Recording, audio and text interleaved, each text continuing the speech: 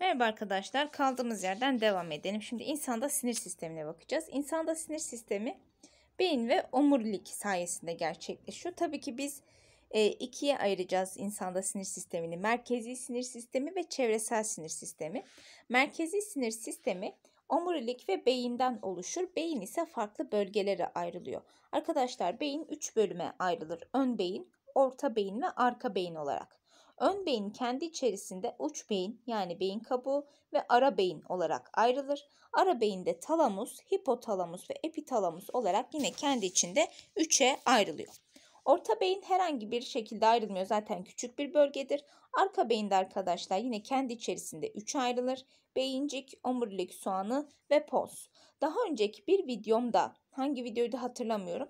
Pons sadece memelilerde bulunur demişim. Arkadaşlar ee, bu bilgi bilimsel kitaplarda yokmuş. Hani ben de sonradan bir hocamın uyarmasıyla araştırdım baktım. Sadece memelilerde bulunur ibaresi yanlış oluyor. Çünkü e, fizyoloji kitaplarında böyle bir şey yazmıyor. Sadece MEP kitabında hani böyle bir şey söylüyor ama MEB'in de kendini düzeltmesi yakındır zaten. MEP MEB'in sunduğu sınavlarda sadece memelilerde bulunuru kabul edeceğiz. Herhangi bir şekilde iptal etmediği sürece ama işte bizim ÖABT kitaplarımızda Ponsu arkadaşlar sadece memelilerde bulunur demesini kabul etmeyeceğiz. Soruda yanlışlık olmuş olur eğer öyle derse. Çevresel sinir sistemine bakalım. Bu da yine somatik sinirler ve otonom sinirler tarafından kontrol ediliyor. Arkadaşlar otonom sinirler de kendi içinde sempatik sinirler ve parasempatik sinirler olarak ikiye ayrılıyor. Şimdi biz burada merkezi sinir sistemini göreceğiz. İlk önce insan beyninin gelişiminden bahsedeceğiz. Arkadaşlar İnsan embriyosu gelişirken nöral tüp oluşuyordu hatırlarsanız nörolasyon evresi vardı. Nöral tüp 3 tane çıkıntıdan oluşur. 3 çıkıntının birleşmesiyle erişkin beynini oluşturuyor. İşte bu üç çıkıntı ön beyin, orta beyin ve arka beyin çıkıntılarıdır. Biz bunlara telensefalon, işte diensefalon mesela ön beyin kendi içerisinde ayrılıyor. Telensefalon ve diensefalon olarak. Orta beyine mezansefalon diyoruz. Arka beyin ise arkadaşlar metensefalon ve mielensefalon olarak yine ikiye ayrılıyor. Telensefalonda cerebrum yani beyin kısmı bulunuyor arkadaşlar. Ee, ön beyin dediğimiz kısımdır. İşte beyin kabuğu dediğimiz kısım aslında bu cerebrum dediğimiz kısımdır. Diensefalon ise talamus, hipotalamus ve epitalamus kısımlarını içeriyor. Orta beyin zaten mezansefalon olarak isimlendirilir. Beyin sapının bir kısmıdır burası. Arka beyindeki metansefalon ponsu oluşturuyor arkadaşlar ve cerebellum yani beyinciyi oluşturuyor. Mielensefalon ise omurilik soğanı yani medulla oblongata dediğimiz omurilik soğanını oluşturuyor. Bu da yine beyin sapı dediğimiz bölgeyi oluşturur. Şöyle e, gelişim olarak baktığımızda bakın bir aylık embriyodaki beyin, orta beyin, arka beyin, ön beyin görülüyor ama henüz mezensefalon, diensefalon diye ayrılmamış. Daha sonra bakın ön beyin kendi içerisinde telensefalon ve diensefalon diye ayrılıyor. Orta beyinde zaten herhangi bir değişiklik yok. Mezensefalon. Arka beyinde arkadaşlar metensefalon ve e, mielensefalon olarak ayrılıyor. Artık çocuk hani olduğu zaman doğum gerçekleştiği zaman da beyin hemen hemen e, tamamen işte görüntüsünü alıyor ama beynin gelişimi tabii ki yıllar sürüyor arkadaşlar. Görüntü olarak beyin tam bir insan beynine benzer oluşur ama beynin gelişimi hani e, psikomotor olarak gelişim biraz daha uzun sürüyor tabii ki. Evet burada bakalım başka söylemediğimiz bir şey var mı? İşte arka beyin tamam cerebellum bunları zaten şekil üzerinden de gösterdik arkadaşlar. Şimdi biz beynin kısımlarını bir yazalım. Bunlarla ilgili şöyle bakın bir tablo hazırladım. Bu tabloyu bilirseniz emin olun beyinle ilgili gelen birçok soruyu çözersiniz. Arkadaşlar ön beyin, orta beyin ve arka beyin olarak 2 3'e ayırmıştık biz beyni. İlk önce ön beyine bakalım. Arkadaşlar ön beyin beynimizin en büyük kısmıdır. Yaklaşık %80'lik kısmını ön beyin oluşturuyor zaten. Beynin dış kısmında boz madde, iç kısmında da ak madde bulunur. Peki bu boz madde, ak madde kavramları nelerdir? Şimdi e, beynin içerisinde bulunan nöronların konumundan kaynaklanıyor bu boz madde ve ak madde kavramları. Şimdi hücrelerin gövde kısmı gövde kısmı, nöronların gövde kısmında herhangi bir şekilde miyelin kılıf yok ama akson kısmında miyelin kılıf bulunabiliyor. Ve miyelin kılıf böyle yağsı bir yapıda olduğu için daha açık renkli görülüyor. O yüzden de aksonların bulunduğu kısım daha açık renkli görüldüğü için ak madde olarak isimlendiriliyor. Gövdelerin bulunduğu kısımda biraz daha koyu renkli olduğu için boz madde olarak isimlendiriliyor arkadaşlar. Ak madde, boz madde kavramı buradan geliyor. Biz ön beyni ikiye ayırıyoruz. Uç beyin ve ara beyin olarak. Şimdi uç beyine baktığımızda korteks yani beyin kabuğu aslında olarak hani e, çıkar karşımıza. Beynin kısımlarını örtüyor arkadaşlar. Kabuk adı üstünde. İki tane yarım küreden oluşuyor bunlar. Yarım kürelere üstten baktığımız zaman nasırlı cisim, alttan baktığımız zaman ise beyin üçgeni dediğimiz üçgenle birbirine bağlıdır. Bu e, korteks dediğimiz kısım. Beyin üçgeni sürüngenlerden itibaren görülüyor arkadaşlar ama nasırlı cisim sadece memelilerde bulunuyor. Yani üstten baktığımız zaman nasırlı bir cisim görmüş oluyoruz. İstem peki görevleri nelerdir? Üç tane önemli görevi vardır. İstemli kas hareketlerini kontrol ediyor. Duyu organlarından gelen uyarıları değerlendiriyor. Hafıza, hatırlama, öğrenme, hayal görme gibi davranışları kontrol ediyor. Bu üç tane görevi önemlidir arkadaşlar. Bunu mutlaka bilin beyin kabuğu için. Gelelim ara beyine. Ara beyin diensefalon olarak isimlendirilir. Arkadaşlar ara beyin e, ön beyinle arka beyin arasında bulunuyor. Buraya ara beyin yazmışım da arka beyin arasında bulunuyor. Burada ara beynin üst duvarına biz epitalamus diyoruz. Alt duvarına hipotalamus diyoruz. Yan duvarına da talamus diyoruz. Peki bunların görevleri nelerdir? İlk önce talamustan başlayalım. Arkadaşlar talamus koku duyusu hariç diğer duyu organlarından gelen uyarıları sınıflandırır ve uç beyine gönderir. Yani bizim şu uç beyin dediğimiz kısma gönderiyor. Beyin korteksine gönderiyor. Daha sonra duysal olayları, duygusal olayları kontrol ediyor fakat duygusal olayların anlam kazanması uç beyinde olur. Çünkü uç beyin hafıza, hatırlama, öğrenme gibi anlam kazanma yeridir arkadaşlar. Ve talamus uç e, uyku halinde kesinlikle çalışmıyor. Çünkü uyku halinde zaten bizim duyu organlarımızda çalışmıyor arkadaşlar. Unutmayın şu önemli koku duyusu hariç diğer duyu organlarından gelen uyarıları sınıflandırır ve uç beyine gönderir. Talamusun görevi bu. Hipotalamusa baktığımız zaman hipotalamus deyince homeostasi gelecek aklınıza. Homeostasiyi ayarlar yani vücudumuzdaki iç dengeyi ayarlar. Bunu nasıl yapıyor? Tansiyonu düzenler, vücut sıcaklığını düzenler, kandaki pH'i düzenler. Bunun gibi arkadaşlar iç dengeyle ilgili olan her şey gelecek aklınıza. İç organların yine otonom çalışmasından sorumludur. İç organların kendi kendine çalışmasını sağlıyor. Hipofiz bezini kontrol ediyor. Hatırlarsınız zaten endokrin sistemde anlatmıştık. Hipofizi kontrol ediyor. Ayrıca hipotalamus iki tane de hormon salgılıyordu. Nedir bu hormonlar? ADH ve oksitosin hormonlarını salgılayıp e, hipofizin arka lobunda depo ederek oradan kana gönderilmesini sağlıyordu. Epitalamusa geldiğimiz zaman epitalamus biraz daha böyle hani küçük bir bezdir arkadaşlar. İnce böyle uzun bir bezdir. Epifiz bezi bulunuyor burada. Melatonin hormonunu salgılayarak erken yaşta engel, ergenliği önlüyor bu. Melatonin hormonu oldukça önemli bir hormondur. Melatonin hormonu eşeysel olgunluğu durdurucu özelliktedir. Mesela bir çocuğun işte eee yaklaşık 9 ile 12 yaşlarına kadar kadınlar dişilerde genelde 9'dur erkeklerde 12'dir eşeysel olgunluk ergenliğe girme yaşı diyelim. 9 yaşına kadar önlüyor arkadaşlar bunu hani ergenliğe girme olayını önlüyor. Daha sonrasında işte zaten melatonin hormonu yavaş yavaş e, etkisini kaybediyor. Gelelim orta beyine. Orta beyin de mezansefalon olarak isimlendirilir. Arkadaşlar orta beyin ara beyinle beyincik arasında yer alan bir bölgedir. Burada tektum dediğimiz bir optik lob bulunuyor. Bu loblarda görme ve işitme refleksleri yer alır. Bakın orta beynin en önemli görevlerinden bir tanesi bu. Görme ve işitme reflekslerini kontrol ediyor. Mesela bir köpek ani ses duyduğu zaman kulaklarını dikleştirmesinin sebebi bir işitme refleksidir ve orta beyin tarafından kontrol edilir. Yine aynı şekilde kas tonusunu ve vücut duruşunu kontrol eder. Kas tonusu nedir? Ee, bizim vücudumuzun tamamen gevşek olduğu durumlarda bile hafif kasılı olma durumuna biz kas tonusu diyoruz arkadaşlar.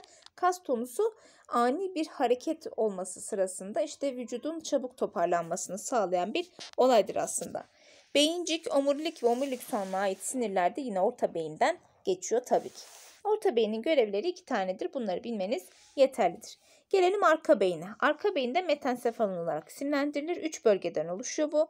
Nedir? Beyincik, cerebellum. Arkadaşlar beyinciye biz hayat ağacı da diyoruz. Neden? Çünkü dışta boz, içte ak madde bulunur ya.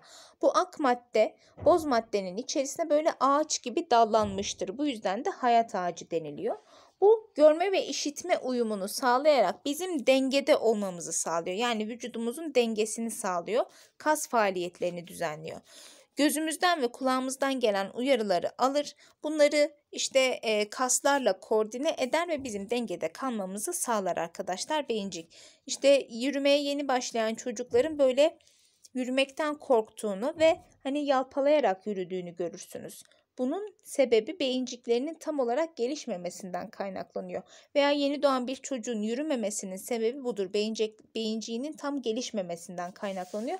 Yaklaşık bir işte bir yaş veya bazı kişilerde bazı çocuklarda değişebilir. 9 aylık 10 aylık yürüyenler olabilir ya da 1,5 yaşına kadar yürüyemeyenler olabilir. Bu tamamen çocuğun kendi fiziksel durumuna bağlı olarak değişiyor. Ayrıca yine beyincikte arkadaşlar duygusal durumların oluşmasını sağlayan limbik sistemde bulunuyor. Gelelim diğer bir arka beyin kısmına omurilik soğanı medulla oblongata. Şimdi bakın iki tane yapının ee, diğer ismini yani latince ismini bilmeniz lazım. Biri beyincik cerebellum, diğeri de arkadaşlar omurilik medulla oblongata. Yani ya bu ikisi sorulursa hani e, latince isim olarak sorulabilir. Peki omurilik soğanının görevleri nelerdir? Arkadaşlar omurilik soğanı beynin tam tersi. Dış tarafta ak, iç tarafta boz madde bulunuyor omurilik soğanında. Burada hayat düğümü de deniliyor omurilik soğanına çünkü hayati faaliyetleri kontrol ediyor. Solunum, dolaşım, boşaltım gibi hayati faaliyetleri kontrol eder. Omurilik soğanının zarar görmesi durumunda kişi ölür arkadaşlar. Dolayısıyla oldukça önemli bir organdır. Beyinden çıkan sinirlerin de çapraz yaptığı yerdir. Şimdi beynimizde iki tane lob bulunuyor dedik ön beyinde. Sağ lob arkadaşlar vücudumuzun sol tarafını, sol lob da vücudumuzun sağ tarafını kontrol ediyor. Beyinden çıkan sinirlerin çapraz yaptığı yer neresidir? Omurilik soğanıdır. Ayrıca omurilik soğanı iç reflekslerimizi de kontrol ediyor. İşte kusma, yutma, yutkunma, esneme, e, hapşırma gibi iç refleksleri de yine kontrol ediyor omurilik soğanı. Ponsa gelelim. Şuradaki ifadeyi dediğim gibi silin. Sadece memelilerde bulunur deme yanlış olacak arkadaşlar. Burayı silin lütfen. E, beyincik yarım küreleri arasında bağlantı kuruyor. Ayrıca solunumla ilgili bir merkezi de vardır. Yani solunuma yardımcı olur pons. Şöyle şekil olarak da gösterelim. Bakın şöyle ön lobumuz, yan lob. Bu da arkadaşlar beyincik yarım kürelerindeki loblardır bunlar. Dört tane lobdan oluşuyor. Ön lob, yan lob, parietal lob dediğimiz bölge. Bir de arkolob. Arkolobda zaten görme alanı bulunuyor. Şöyle yine beynin kısımlarına bakalım. Burada işte beyincik mesela. Şurası beyinciktir. Daha sonra arkadaşlar beyin sapı dediğimiz bölge şurasıdır. Bakın beyin sapında omurilik soğanı. Ee, pons bulunuyor. Omurilik soğanı bulunuyor. Bir de beyincik bulunuyor. Beyin sapını oluşturan kısımlardır. Şurası da yine aynı şekilde farklı bir görünüm. Üstten baktığımızda nasırlı cisim görünür dedik ya. Bakın nasırlı cisim şurası işte. Üstten baktığımız zaman nasırlı cisimle birbirine bağlanmıştır bizim beynimiz. Beyin üçgeni dediğimizde alttan baktığımız zaman beyin üçgeni dediğimiz kısım orası da şu kısımdır arkadaşlar. Beyin üçgenidir. Yine beyin üçgeni de bilmenizde fayda vardır. Bu şekiller karşınıza çıkabilir. İşte omurilik, omuriliğin hemen bitişinde ne var? Omurilik soğanı var. Hemen bitişinde pons var. Ponsun hemen arkasında beyincik var. Daha sonra yine ponsun hemen üstünde ne var? Bakın orta beyin var arkadaşlar. Orta beyin oldukça küçük bir yerdir. Şu e, lacivert renkli olan, mavi kısımlı olan. Daha sonra orta beynin hemen üstünde talamus var. Talamusa bağlı olan epifiz bezi var. Bakın küçücük bir nokta gibi bir şey. Şurada hipofiz, hipofizin hemen üstünde de hipotalamus var. Bakın talamus epifiz bezine ve hipotalamusa göre daha büyük bir yapıdadır. Daha sonra arkadaşlar hemen üst kısmında nasırlı cisim. Şu büyük olan kısım nasırlı cisimdir.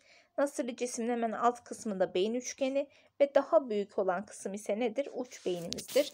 Bizim beyin kabuğu dediğimiz bölgemizdir. Evet bu şekilde de yapı, yapılarımız. Bunu da yine göstermiştik. Şurada bu arada şunu da söyleyeyim. Beynimizin sağ ve sol lobu farklı olaylarla e, kontrol ediyor arkadaşlar. Sağ ve sol lob birbirinden farklı şekilde e, olayları kontrol edebiliyor.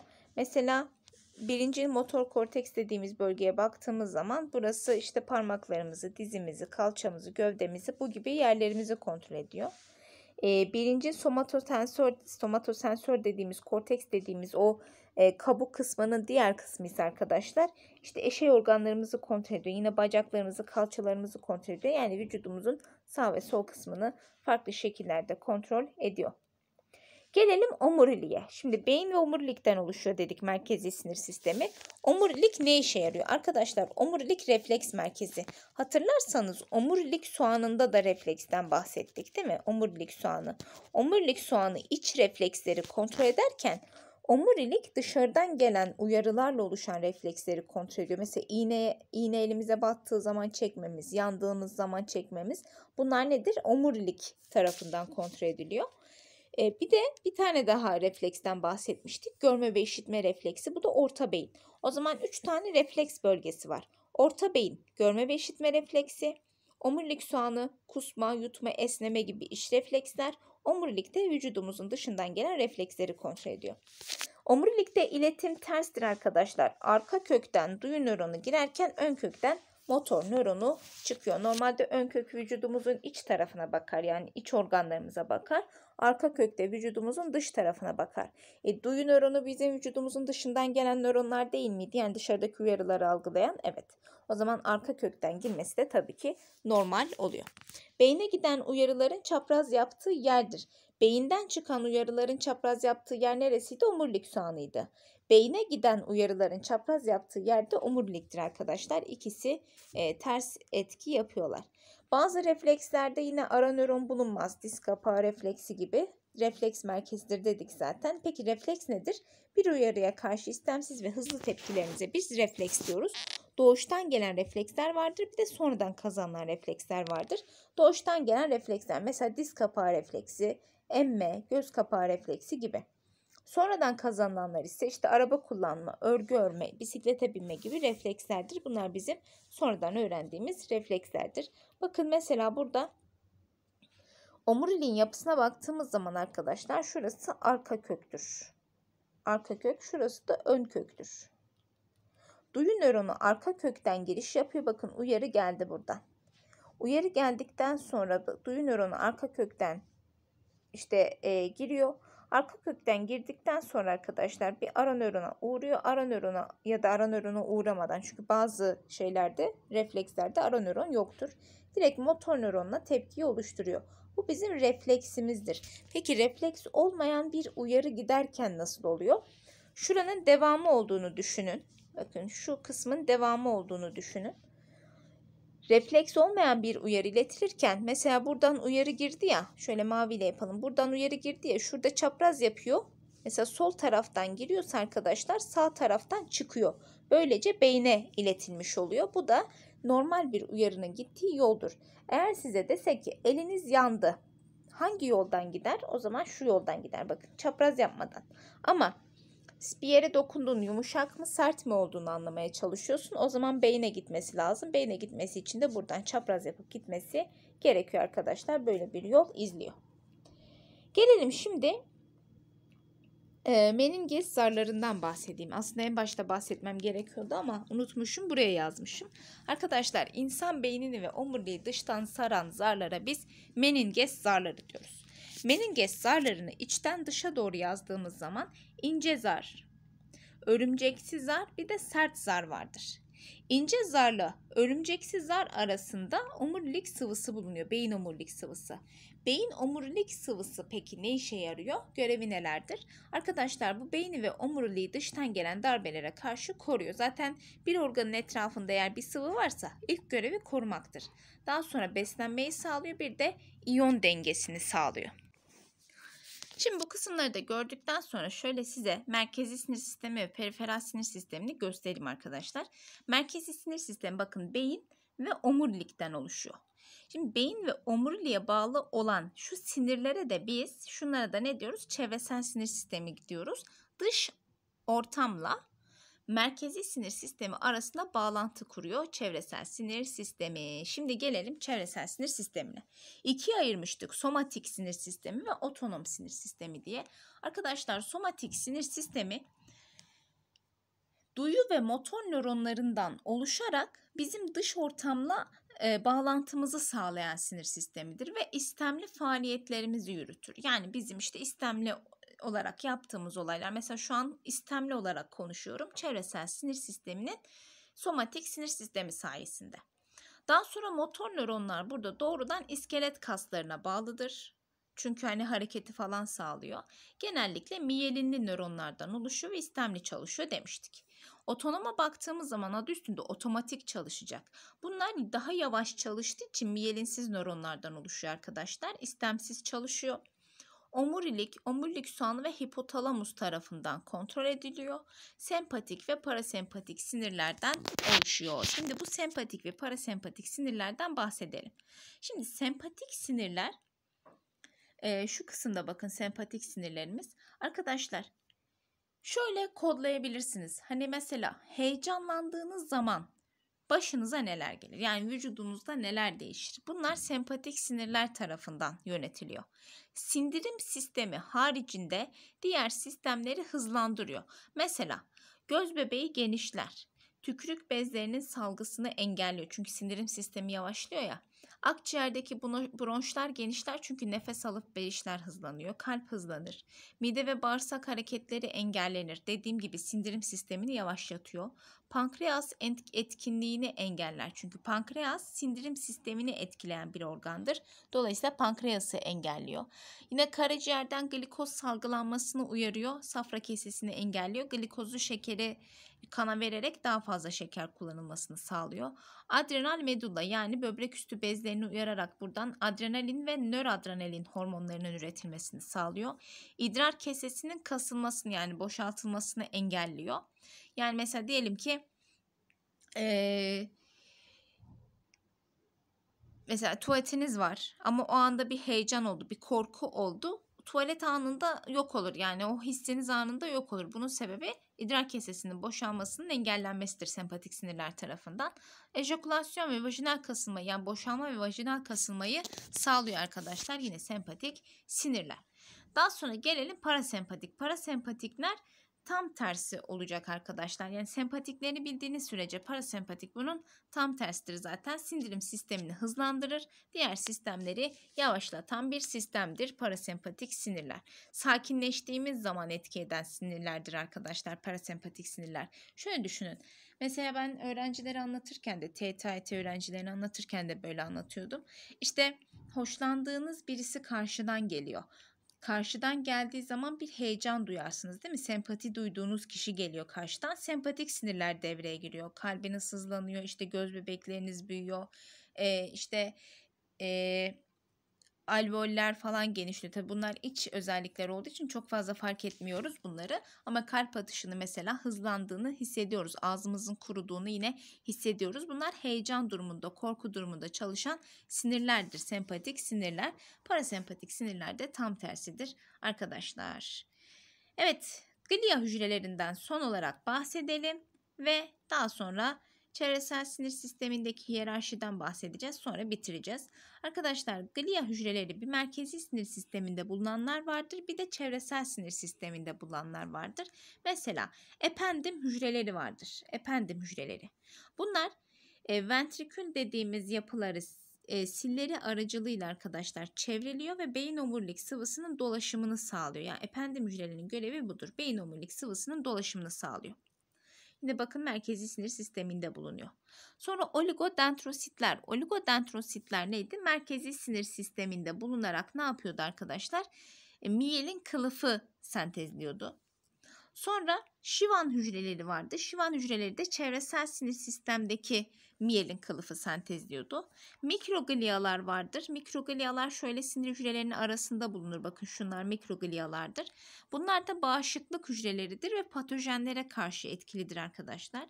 Yine astrositler vardır. Astrositler de e, yıldız şeklinde görüldüğü için bakın şunlar astrositlerdir. Yine şunlar şunlar. Astrositler de ne yapıyorlar?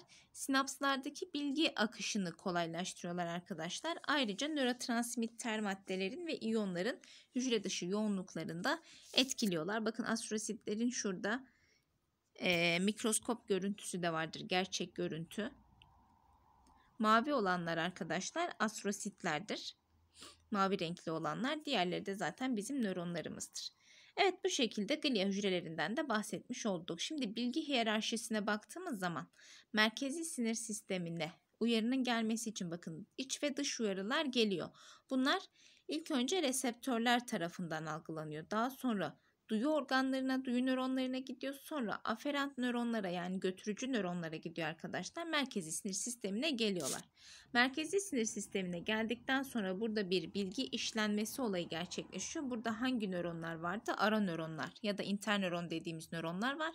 Sonra da eferent yani götürücü nöronlara yani motor nöronlara gider. Motor nöronlar otonom sinir sistemine gidebilir ya da motor sisteme yani somatik sinir sistemine gidebilir. Somatik sinir sistemine giderse direkt iskelet kaslarını kontrol eder. Otonom sinir sistemine giderse ya sempatik bölümü uyarır ya parasempatik bölümü uyararak burada kalp kasının, düz kasların işte veya diğer bezlerin kontrolü sağlanmış olur arkadaşlar. Böylece sinir sistemini de bitirmiş olduk. Sonraki videoda duyu organlarına geçiş yapacağız. Sonraki videoda görüşmek üzere. Hoşçakalın.